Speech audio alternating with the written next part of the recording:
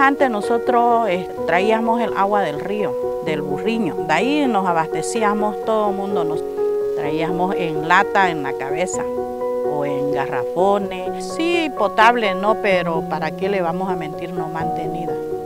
Para nosotros es una alegría, ¿no? Al saber de que vamos a tener una agua tratada, ya nuestros hijos ya no, no vamos a tener ese miedo de que se nos enfermen. En nombre de toda mi comunidad y de la niñez aguascalienteña, estamos bien agradecidas.